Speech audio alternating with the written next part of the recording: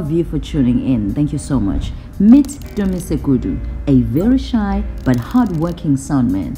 Believe it or not, this gentleman here has recorded sound for shows like Afro Cafe, Mzansi Insider, and many, many more. Let's hear more about his vision and story. Thank you for watching MOTAV.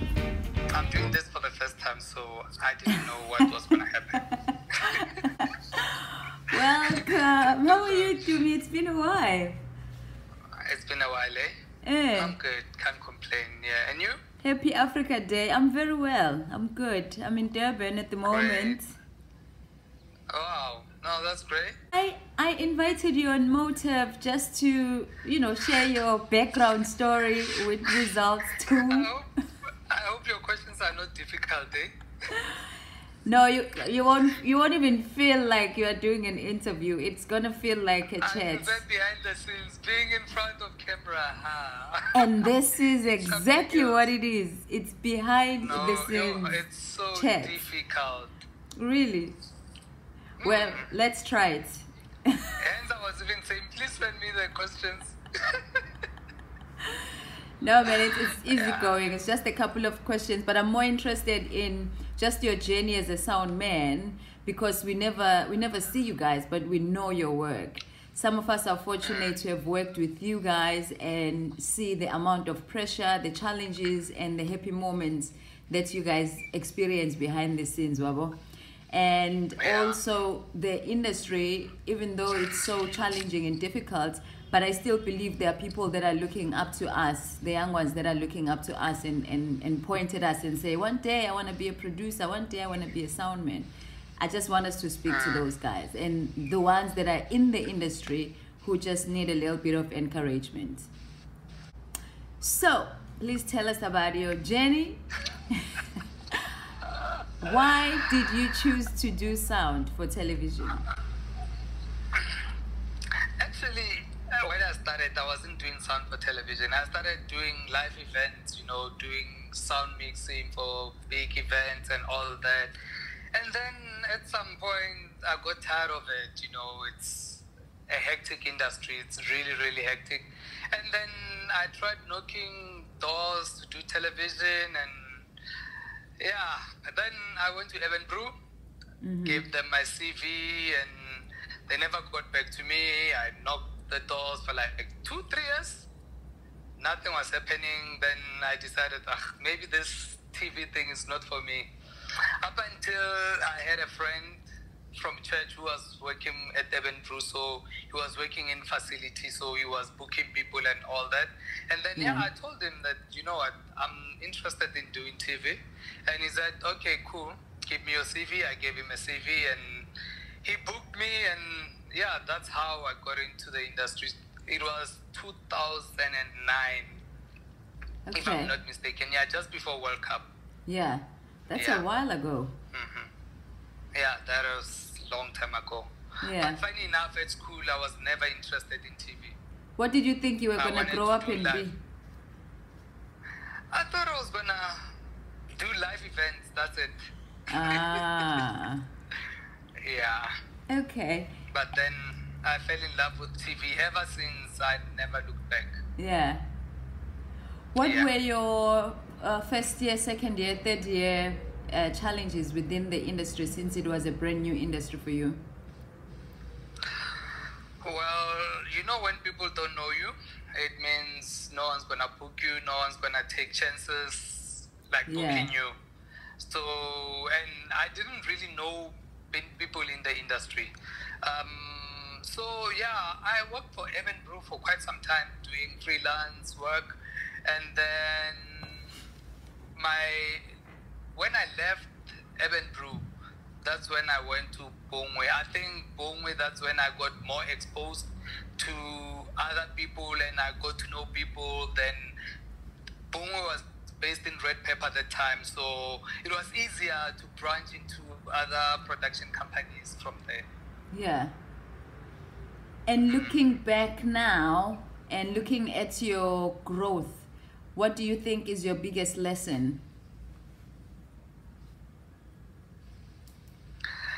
My biggest lesson is patience. You know, without patience, you won't make it. Especially, okay, I've always hated um, drama Yeah. because they take forever. The setting up of lights and all to set up a scene takes forever. So I was so impatient. I never had um, the love for it. But you know, as time went by, I realized, you know what, you can't be choosing some jobs. You know, so I just I had to learn to be patient. So you were one of those that used to hate to get a call sheet 80 figango 9 and the shoot starts at about half past 11 because your job is not you don't need to to carry anything and put and shift and position anything you just yeah. connect yeah Yeah, I'm one of those, eh? Yeah. I wish I could just get there like 30 minutes before and set up my equipment because I've got my own equipment. So I know my equipment. I don't need to check my equipment. I check it at home. So I just want to get to set, mic up people, or if it's a studio thing, you know, just check if the lines are working properly, the mics and all that. And yeah, yeah which are the great people to work with you it can be talent or crew or production houses Um, you know, crew can make your life and they can break it on set. yeah So for me, I prefer, you know, hanging with the crew. It's always fun. Crazy people. You know, creatives are very crazy people, so they've got crazy minds, and yeah, um, I prefer crew. Okay. And in, in terms of production companies, I know you've worked for quite a number of production companies. You know that you find production houses that have good ethics where they either protect or, or develop crew members, right? And Yeah. others don't. Mm. For those that mm. don't, in your view, what is it that you don't like about certain production houses? Especially the ones that don't take care of crew. Know, I'm even scared to mention names. Don't mention names, it's all right. Just mention the experience. Yeah, um, there's you know a production company that I once worked with, and you know they would say call time is nine o'clock. You get there, the production is not ready. uh-huh. I mean that's so annoying. The production, like nothing is ready. The crew waits for like two hours before they can go on a shoot. There's no SNT, so normally what I do, I'd bring my own water, I bring my own snacks, my Yeah. own lunch or breakfast if it's in the morning. Yeah. So yeah, you know, there's some other production like even for SNT, it's a mission. It's like they just want you to. First of all, they've negotiated Getting the 60 rate to rands for 12 years. The lowest that you can ever find in the industry, like still using the rates of uh, 1960. I mean, really, in this time and age. We know After them. that, then the experience on set as well is not really nice. Especially the shows that have presenters. Some of them you find the presenter is the grumpiest person ever. So yeah, no, I hate those kind of productions. Especially if you've worked with other productions which are professional. When they say call time is nine o'clock, you check equipment for like th- um, five minutes, ten minutes. You load into the car. You go. Yeah. So working for others that don't do that is just a nightmare. Mm. If you were to explain or describe the role of a soundman and its importance to people, how would you describe it? Okay, the rules differ a bit when it comes to studio and ENG. So when it comes to studio, studio normally you get there, uh, check your lines, check if everything is working, the mixer, the mixing desk, I mean, check your microphones, the frequencies, they don't clash. Mm, Especially for a live show, live show I always find it like challenging. Adrenaline, it's It's way up there. Hey, yo, it's hectic. So you know there, there's no second chance. It's do or die. Yeah. Once they say live, five, four, three, two, one, we live. You go. It's crazy throughout. You only breathe for like three minutes during um, an ad break and back to it again. Yeah. And then when it comes to ENGs, ENGs are more controlled. It's a controlled environment. So if there's anything wrong with the mic, you can always fix it. Make sure that there's signal in the camera when if you link to the camera. But normally, actually, nowadays people use DSLR. So with the DSLR, you record on board. So I I prefer that actually. So yeah, you not linked to anyone. You work by yourself, but even though you're in a team, but yeah. Yeah. Okay. And do you enjoy I don't know if studio? Making sense. Yes, yeah. Do you enjoy shooting studio? I think, Shows. yeah, I'm. I think I'm getting too old for ENG. Eh? I'm getting too old for ENG, so I find studio more. I'm more comfortable with the studio. There's a chair, you just sit there, Yeah. then you run the desk. Yeah, there's nothing much to do, and you've got assistants miking up people for you. You just have to make sure your levels are right. Whatever you feed into the VT is Yeah. fine. So yeah. Mm-hmm. Okay. Now I'm gonna ask you to please share two experiences from your life as a soundman. One bad ever experience that you have encountered on set. Two, one best experience that you have encountered either on set or with a production company. Wow, I can't think of any right now. Eh? Let me see. My worst. Yeah. For instance, if you went to um, you went with a crew to film a president's speech and came back without the sound. You know my bad, my worst experience. Yeah, now I remember. I was doing Mzansi Insider. Uh huh.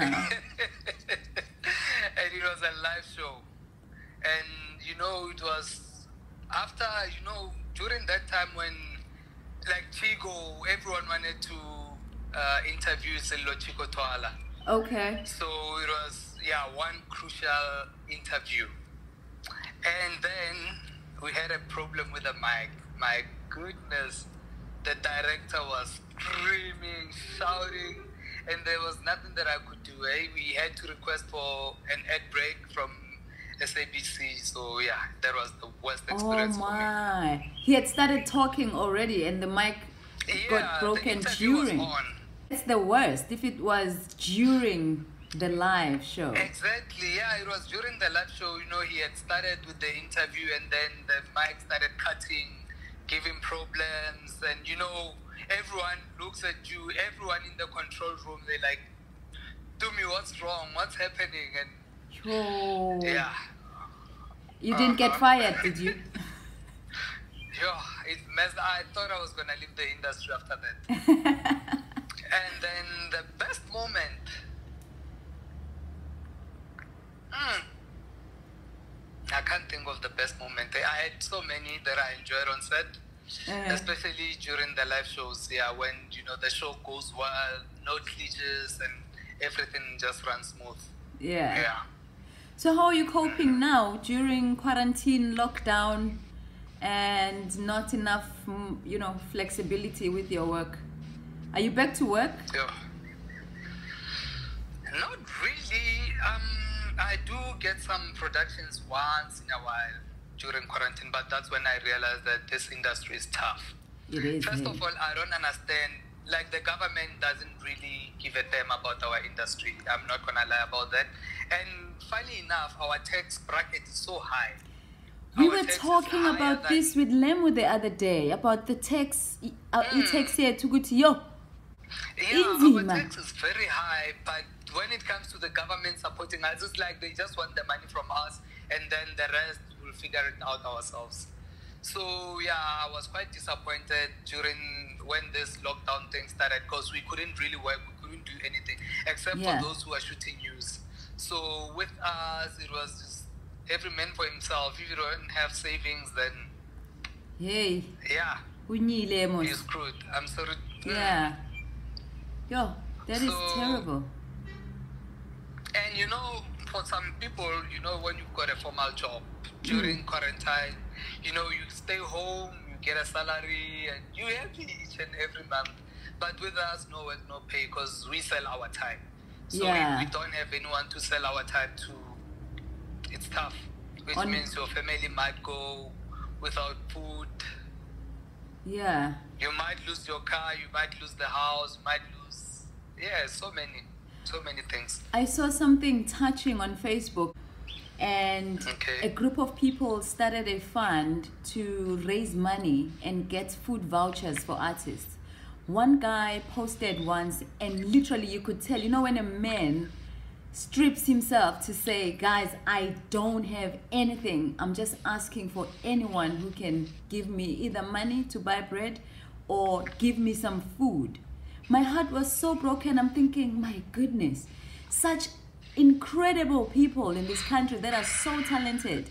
And now during quarantine and lockdown, it's as if they don't exist because even the grants that they are trying to give artists are just mm. it's not gonna be enough for, for the rest of us.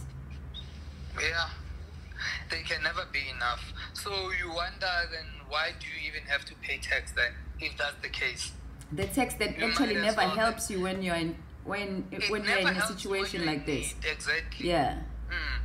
It's crazy. It's, it's so sad, eh? And you know, with us as well, our industry is very tricky because uh, you'd start, let's say, SABC commissions a show with 13 episodes. You do those 13 episodes. After Yeah. 13 episodes, there's nothing else that you're going to do. Then you stay home. You hope for another production to call you and start shooting something else. And, you know, you wait, you stay home and hope. Like, you check your phone each and every second. Did I miss any call? Hey, I'm even thinking of starting a new career now. or- Pardon? I'm saying I'm even thinking of starting a new career and just do television for fun.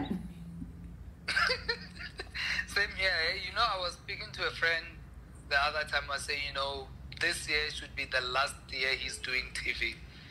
He really needs to move into other things. And I mean, you get old and there's nothing really to show. That's you another you've been problem that we have. Mm. Yeah. That is so at the another end of problem. the day, you realize that oh, there's nothing. I was talking to my mom yesterday about we were talking about life covers and so on, and I said to her, you know, I once had a, a life cover, and I feel like I don't even remember when it lapsed because probably for a good three to six months I didn't have a, a stable income to to cover myself, Yeah, eh? Mm. Mm. and I'm thinking Yeah. time is catching up a person is growing old so are we going to be dependent on just pension from government who doesn't like us so much it's unfortunate, eh? So you, what, all you have to do is to try whenever, like during the good seasons, you save up as much as possible. Because for me, what helped me, you remember, I was working for Bongwe, and mainly most of their productions were from SABC. yeah I remember So when SABC went down, it means all the production companies which are working with SABC are gonna be having problems. Yeah. That's when you realize like there was nothing else to do. Like you go for months without any income. That's when I realized that you know saving is very important. Fortunately enough, that time I had savings anyway. I was saving towards something else, of which Yeah. it didn't materialize because I had to use that money to survive instead. crazy so what do we say to Yeah, what do we say to people who are looking up to us and think this industry is good enough for them to try it out for them to pursue Sitin, what are we saying to the young ones because you know, when you choose a career, someone once said, when you choose a career, do something that you're gonna be excited every day. You're gonna look forward to going to work every every day. You're never gonna feel like you're working. For you, you're passionate about it. Yeah. You do it. Passion sometimes doesn't pay bills, eh? passion does not pay bills most of the time. So for me, for someone who wants to get into the industry, I would say to them, Ish, Ish, I don't know. Because right now it seems like our industry is going down. It's really going down. It then you eh? get other production companies which wants to really I don't know what's the correct word to use. Uh, Exploit yeah, I think exploitation is the correct word. They tell you they don't have a budget and you have to work for the minimal uh, rate a Rate, lower yeah. a lower rate than your lower rate. Exactly, and on top of that, they don't take care of the crew. You know, there are some production companies. I don't know if I can mention names. Like, Boom, for an example, to say, okay, I spend most of my time there. Mm. You know, when they say there's a shoot in Durban or Cape Town, you are well taken care of. Yeah. It's like you home away from home. Like they'll book you the best hotel. They book you into like your four star, five star, preferably, and the SNT as well will be taking care of you. And when you come back again, you still have something Yeah. yana, left. And then there are those production companies when they say you go into Durban, you start thinking, hey, yeah, and then you get there, accommodation is not booked. you have to sleep in a Oh. quantum. You know those. Yo, you have to sleep in a car. You get calls on your way there. You are being told, no, we are still trying to sort it out. It's the day of the shoot. You are supposed to hmm. get to location, either rest or start work. They are still talking about Exactly. accommodation on your way there. On top of that, even SNT, they say, no, we're going to e-wallet. How much is SNT now? It's rough out there. it depends. The last show I was doing for DSTV, SNT was about 180, if I'm not mistaken. Oh, That okay. was last year. Last yeah. year. Hey man, you carry this SNT thing. Inyuluha ka about the 20 day. cents each Yeah, year. and then there are other shows. Then they'll tell you, like SNT, you don't, you can't even buy a burger. They tell you SNT per meal it's forty rand, fifty rand. I mean, really, what do you do with that? What do you do with You 50 can't buy. rands a You can't buy. meal? There's nothing that you can buy. Unless you're shooting in the township, at least you can buy ikota and then have some kolinyana. But if you're shooting in the burbs, Yeah. there's nothing you can aff- you can afford. Might it's as well bad, bring eh? your own lunch. Yeah. Wow. No man, thank you so much Tumi. I just wanted to to hear your story. It's good to see you as well. It's been a while. Good. Still thank you, looking eh? Been good. while. It's been a while indeed. eh? Yeah. yeah. Yeah, so MOTAV is just- You know, work together again. I'm hoping we'll bump into each other and do one explosive production together. That'll be Hopefully, I'm awesome. Crossing my fingers. Yeah. Yeah, that'll be awesome. I'm also working on certain Alright. things while I'm having the time. Mm. Yeah. Yeah, you know, I was I was talking to someone yesterday actually, like, you know, with us most of the time, especially during this quarantine, let's help each other. If you've got something that you're doing and you know you've got friends in the industry who are able to help you, Yeah. I help you today, tomorrow you help me with something else. Because I've started writing now, I want to produce my own um, drama. Okay. So yeah, this yeah, I've been writing during this quarantine. So I was thinking about it that you know what, you know, I've got people in the industry that I can say, guys, um, shooting this, I'll take care of the food, I'll take care Yeah. of your petrol. Let's do this, and if ipopa, then rapopa kaofela, you know. I And love I that idea. Working onto someone else project. I don't mind helping someone else at Yeah. all. I love that, that you know, idea. alone, alone, honestly speaking, you can't do it, eh? You need people. It's hard. It just takes a little while when you're alone. You can do it, I think, but I just think it takes a little longer. And you don't have all the you. skills as a unit. No, you can't have all the skills. Yeah. Even though there are people who have been like who've done so much in the production, but still, you can't do. Production is a big thing. It's a can't big, do it yeah, it's a big thing, yeah. hmm you need people. Yeah. It's a teamwork. Yeah. No, that's great. Hey, I like that idea of uh, if you have an idea, identify people that you can work with that can support your vision. I do this a lot with some of the people. When I don't have money to pay anyone, I normally trade skills. As you are saying that Yeah. you are now writing for a drama series, and if you needed my help, you tell me this is the area I need help with, and Mm. When I need help again as well, I would say, you know, Tumi, I need a sound man. I don't. Obviously, we're gonna sound like all of them. I don't have a budget. I'm working on a zero budget. We we never have a budget, eh? Never. we hardly have budget. we are adopting. We've been taught well. I don't have a budget. Come work with me. yeah, no, that's a that's I a was great thing. With, um, I was with a PM from another production, one of those production companies that I don't like. Yeah, So she's a PM, and I was asking her, "What's your rate?" It's like, "Yo, the reason why I haven't called you, we use students so that you know yeah. they, at least they can, yeah, they agree to that rate, but you know, professionals don't really take that rate at all." And I don't have anything against people hiring students, but they must also take full responsibility when a student messes up their production. They don't want that. They expect students to give I results know. like an expert. That's what they say when they want us as well with a lower rate. Where they say, No, I'm looking for somebody or OWI junior mid level. And you come there Yeah. as a full house with full experiences and they want to oh it's so annoying. They must take And you know children, it's fine. thing- The sad thing about this industry is I'm gonna ask you, Manu. Okay, I've got this amount.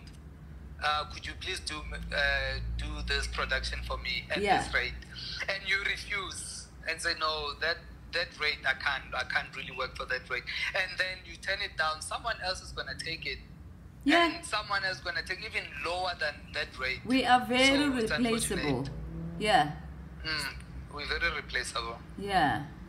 Oh man. Mm. I'm wishing you the best. I hope your creativity for what you are writing gives you good energy every day to keep on writing. I've also been writing, so I know the process. Sometimes you wake up with a block of sorts. You can't think past your eyes. You can't at all. And mind you, I'm new at this. Eh? I just started Yeah. uh, writing not so long ago. So, but I'm enjoying it. So That's far, nice. so good. yeah. So if I get stuck, I'll give you a shout. Good. If you need inspiration, go to MOTAV on YouTube and look at a poem called Dear Artist. Okay, Yeah. I'll do that. I hope it Thank you lifts so you up. Will do. Yeah. Thank, you so much, much. Good seeing Tumi. We'll be seeing you soon when I'm back in Joburg. Thanks for your time. Most def. Thank you. All right. Pass my love to your family. Will do. Same to you. Alrighty. Bye. Bye.